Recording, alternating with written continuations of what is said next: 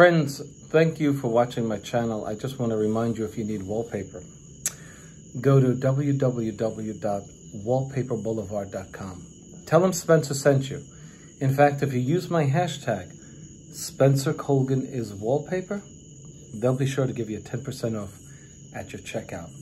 No matter how much you order, they have a wide selection of wallpaper. Check it out. Tell them I said hello and enjoy your discount. This is Dozer. Isn't this a beautiful dog? He's about 90 pounds now. He was abused. They got him when he was only 50 pounds. The friendliest big dog you've ever met.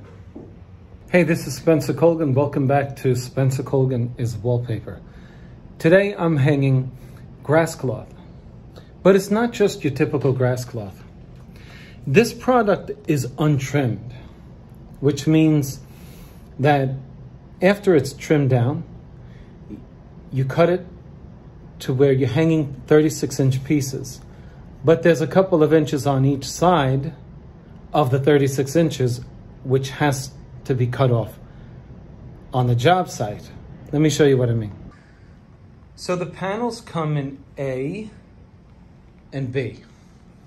So this is the repeat. It's a horizontal repeat. It's also a vertical repeat, but it's it's replicated every third sheet. So this one, we'll start again here. A, B, A, B. And that's the pattern. The first sheet is trimmed down. Okay? And the second sheet is not. So if you look close, you'll see that this goes over here.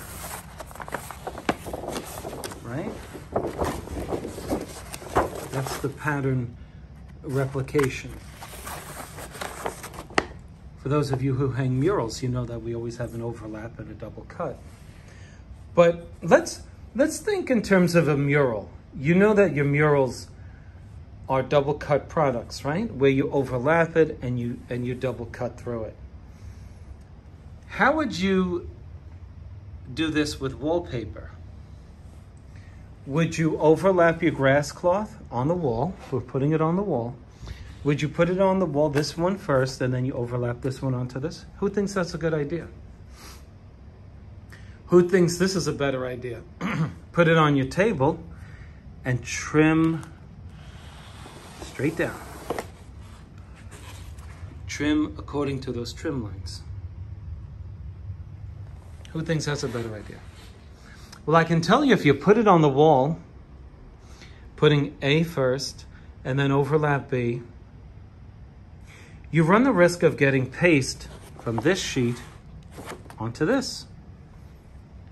And this is a product which doesn't tolerate moisture, certainly not paste.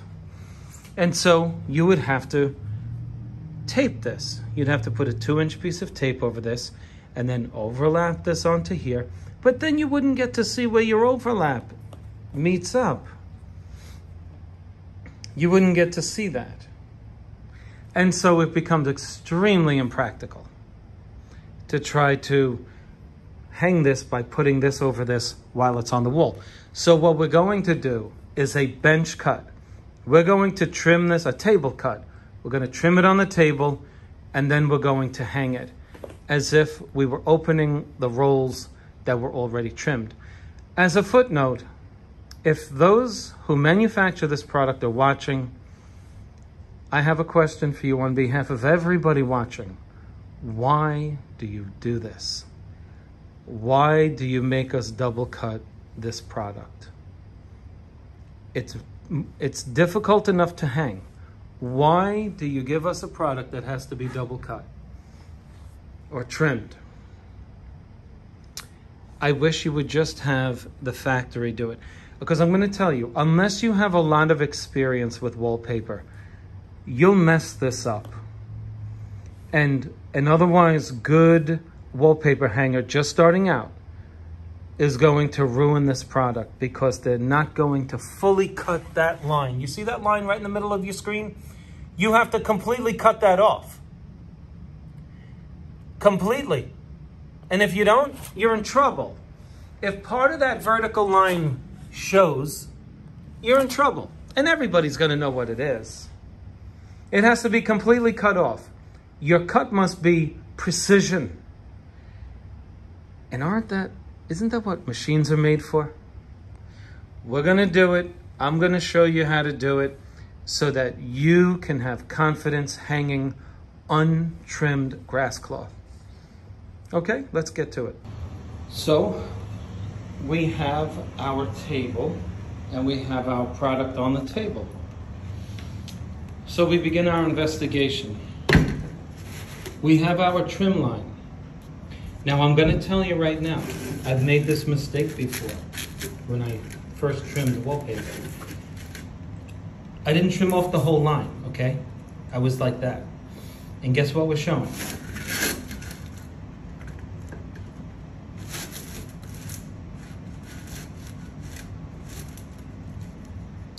That was showing. And so I don't want you to make that mistake. See that? That line has to be gone. You see that little black showing there? See that?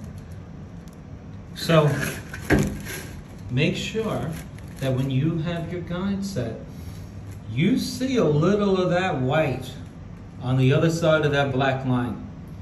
You don't want, there's no way to get rid of it if you make the mistake. Okay? Second point.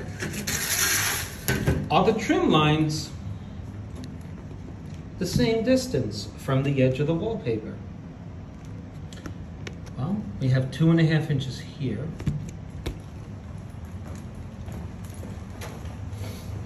The very next one is two and a half inches. But folks, don't assume it. Don't assume it. Check every one of them to make sure if you're going to go by measurement, because here's the deal.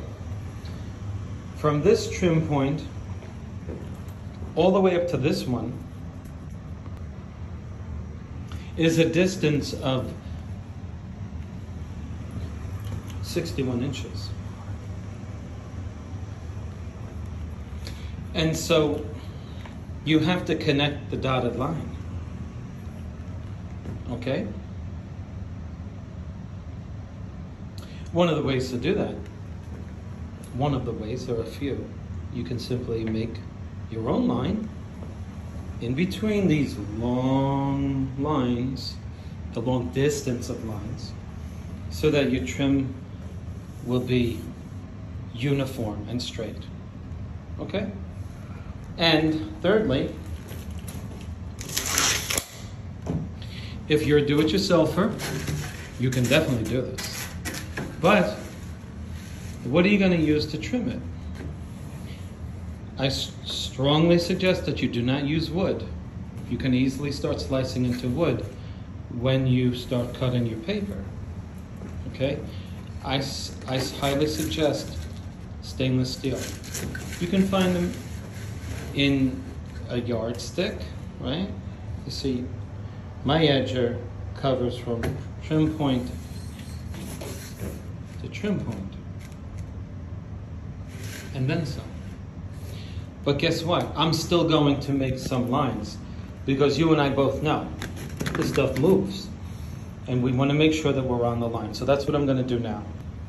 And so with my pencil, I've made one point here, another here, and another here. Because when you start trimming this, things move. And you'll wind up with a crooked piece of wallpaper. Happened to a colleague friend of mine up in Ontario, Canada. And he called me and said, What do I do? And the advice that I gave him was to hang it crooked. Because the pattern would not reveal the lack of plumb in the pattern. But this will. This will. So we, we can't make that mistake here. So now what I'm simply going to do is trim against my steel blade, my steel edge here. Okay? And get rid of this thing. let me show you the reason why you don't want to go off of a measurement from the edge. Who remembers what the distance was from the edge to the trim point that I measured before? It was two and a half. What does that say? Believe it or not, it's not showing as much in the in this video, but do you see how it's nearly a full 16th of an inch off? Now, you might not think that matters. But guess what? If you strictly went by measurement, you would be off and you would have. See that black line?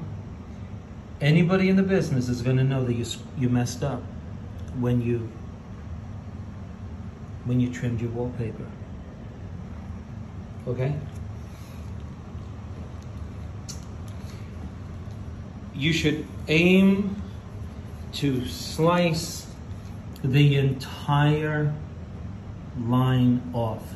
And I would say that means giving yourself a sliver of white, not the black. Don't cut on the black. Cut after the black where the white begins. Okay, I'm about to make my cut. I can't show you while I'm doing it because I'm alone. And so I'm going to be making my cut with this brand new nine millimeter knife against this steel edge. So let's see how I'm doing.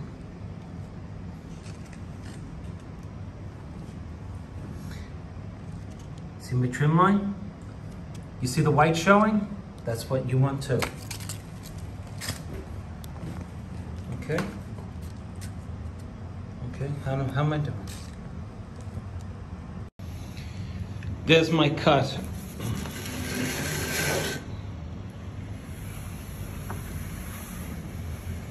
Now let me just tell you something. For those of you who are really nervous about doing it themselves, take this wallpaper and put it on your floor and line up the wallpaper.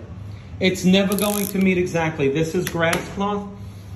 This pattern is never going to meet up. You might have a 16th of an inch over here or a 64th. Don't panic if you've chopped off a 64th of an inch. Oh my goodness, what's going to happen? Because I wallpaper people tend to be very, very fanatical, particular people, and I get it. So that's your cut right there. Look at that beautiful sharp edge. But it's time consuming. If you do this for a living, make sure you charge more money to do this. Okay, we're doing the same thing on the other side of this wallpaper, right? See that?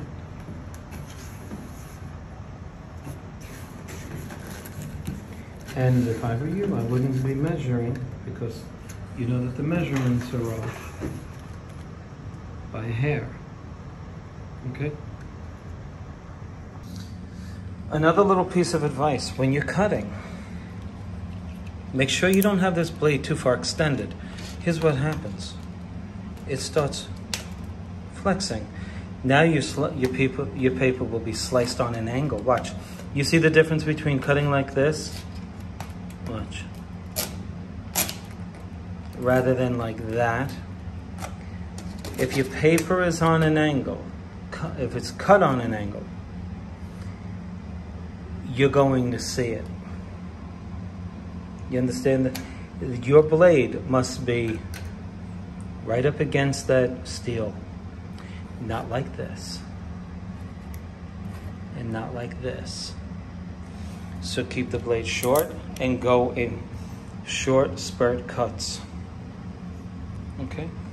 After you trim your paper, roll it up just like if it were typical rolls of wallpaper. Okay? So now let me show you what you should expect when you do your bench cut. If you didn't do a bench cut, this would be overlapped onto here and you would get paste on this. If you didn't get paste on, you would be using tape, right? And if you were using tape, you wouldn't be able to see where you should cut it. Now, do you see why you did a bench cut? Okay, good.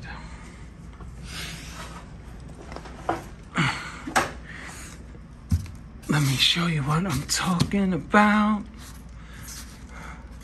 Okay, Now, you see that? I don't, Spencer doesn't know what that is. Grass cloth has a lot of little things in it, okay? Okay.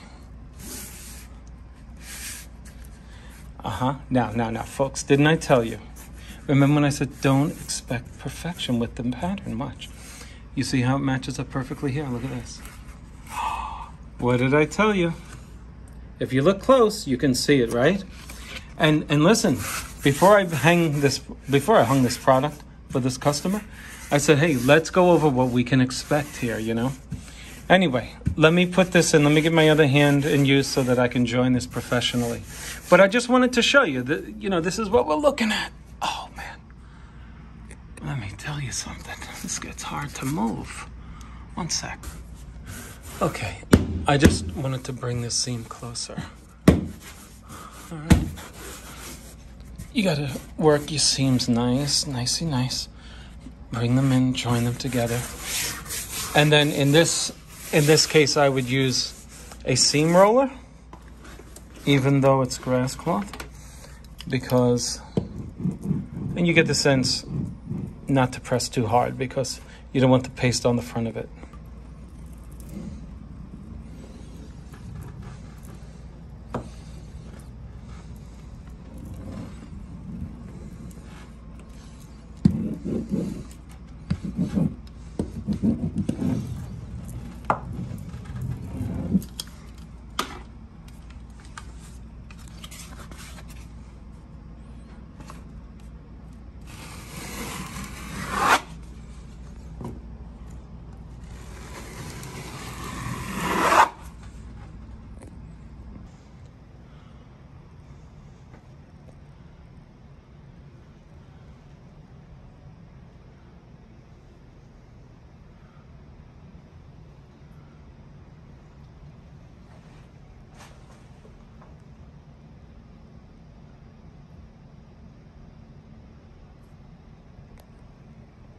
So moving right along, but not without incident.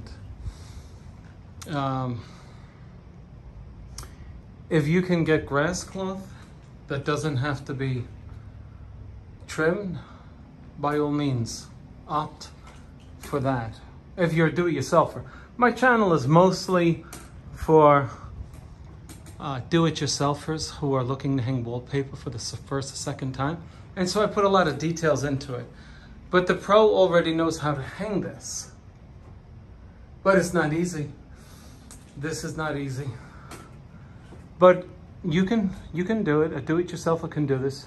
You can easily figure this out just by following these instructions. But it's among the most difficult wallpapers to hang. Let me show you an alternative to doing a bench cut. We're going to we're just trimming some of this excess off. We're not doing a bench cut per se. Look, I'm leaving my trim line. I'm gonna bring this up to the wall and I'm gonna cut it on the wall. Because some of you good folks may go crazy trying to make this a straight cut. So what I'm gonna do is I'm gonna show you an alternative method so that you can decide how you wanna proceed. Just for the record, this is a Kelly Wearstler product. Okay, called Graffito for Groundworks Design 2016. Now take a look at the edge. Notice that I'm not pasting all the way up to the edge. We're going to overlap this. That's the reason why we don't want paste on the front of it. But what I'm going to do is paste the wall right near the other edge of the last sheet of wallpaper. You can't go overlapping this stuff with paste on it. Okay, so here's what I've done two inch piece of tape from the edge over. Now you can see through the tape, you see your design, right? And so I'm going to paste up to here, just so if this tape comes off, which it does, the paste doesn't get onto this wallpaper. You can't get paste onto grass cloth.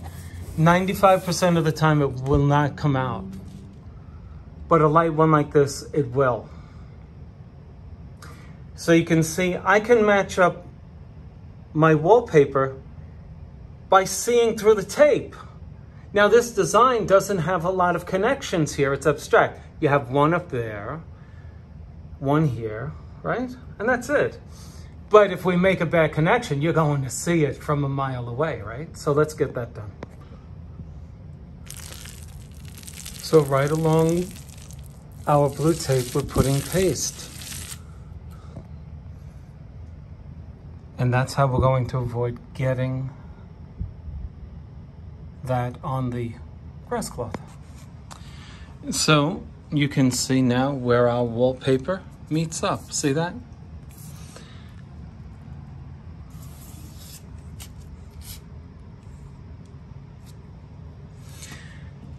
And I'm going to slice it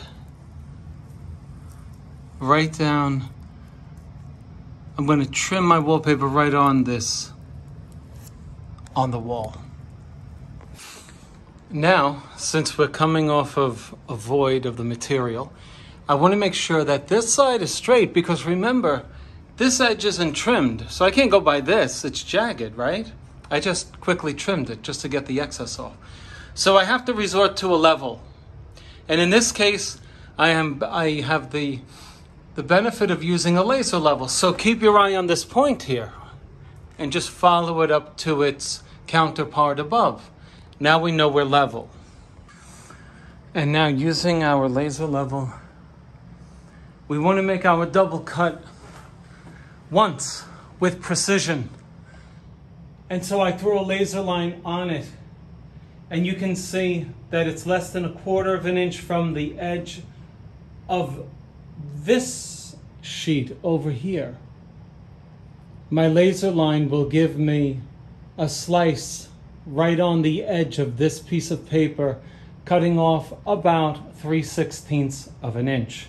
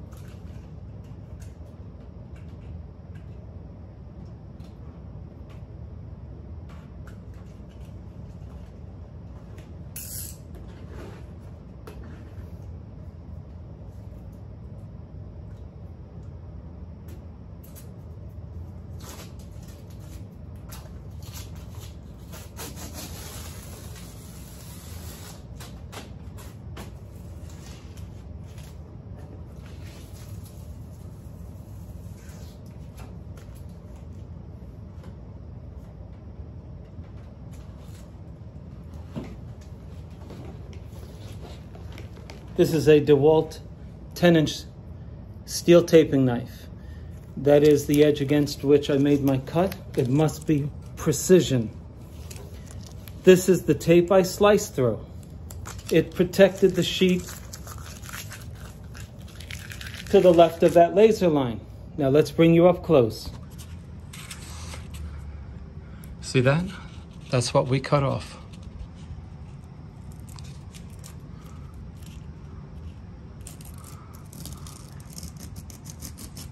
Okay. The first time you do this, it's a nail biter. And look at our seam. Look at this. Let me back up and show you.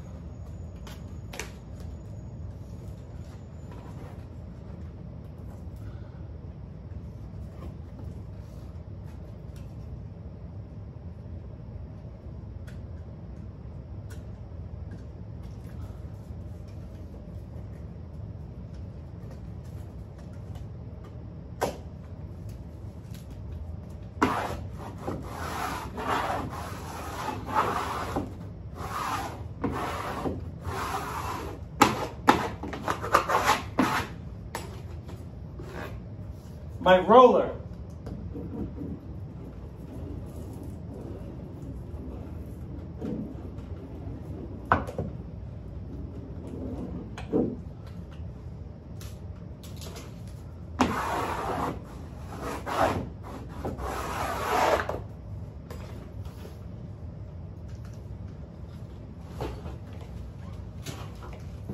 Let's show you the precision. Okay, there's our double cut cleaned up. Okay, um, I beg you to find that seam. Okay, if I went on top of it, you'd find it, but I'm standing three and a half feet from it.